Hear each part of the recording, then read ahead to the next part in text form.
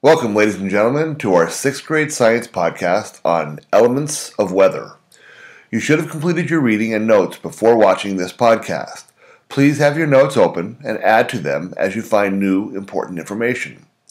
The essential question for this section is What is weather and how can we describe different types of weather conditions? By the end of the lesson, you should be able to describe elements of weather and explain how they are measured. What is weather? Weather, simply put, is the condition of the atmosphere at a specific place at a specific time.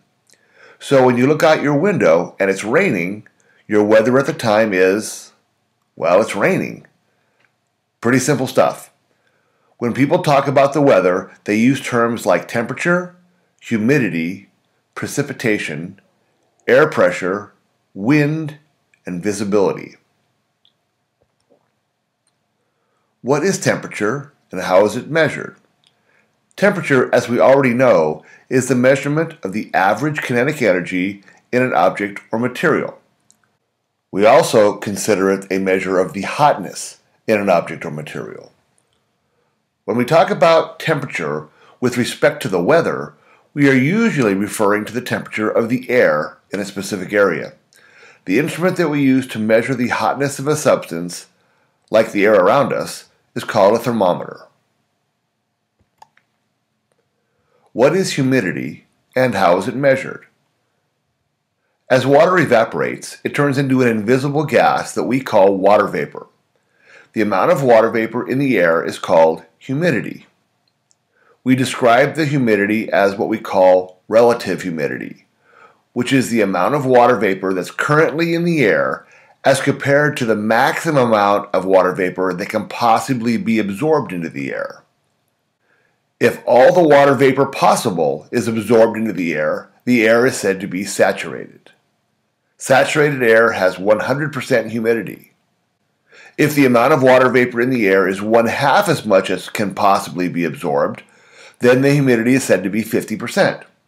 We use an instrument called a psychrometer to measure humidity. Temperature affects the saturation point of air. Warmer air can hold more water vapor than cold air can. When saturated air cools, the water vapor in the air begins to condense into liquid water. The point at which water vapor begins to condense is called the dew point. What is precipitation and how is it measured?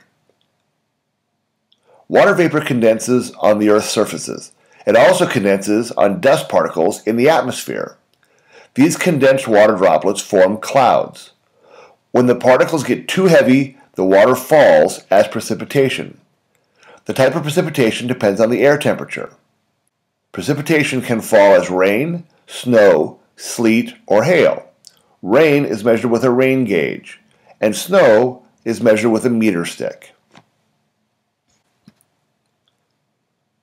What is air pressure and how is it measured? Scientists measure air pressure with a barometer. Air pressure is the force of the air molecules pushing down on an area. Air pressure on any area of Earth depends on the weight of the air above that area. Air pressure and density are related. Both air pressure and air density decrease with altitude. The graphic shows that the molecules are denser near the Earth's surface than at the higher altitudes. What is wind and how is it measured? As we've previously learned, wind is caused by unequal heating of the Earth's surface, causing convection cells or convection currents. Wind is the air that moves horizontally, or parallel to the Earth's surface. Wind speed is measured by an instrument called an anemometer. Direction of the wind is measured by a weather or wind vane or a windsock. What is visibility and how is it measured? Visibility is the measurement of the transparency of the atmosphere. It is how well we can see through the atmosphere, how far we can see through the atmosphere. It is measured by viewing landmarks at different distances, determining the distance to the landmark. Poor visibility can be caused by fog or by polluted air.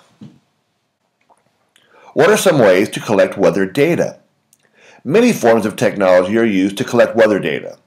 Some stationary forms of weather data collection are by ground stations and weather buoys.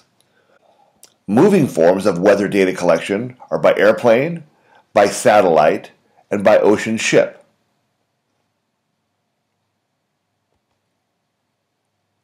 Well, ladies and gentlemen, that's about it for the podcast.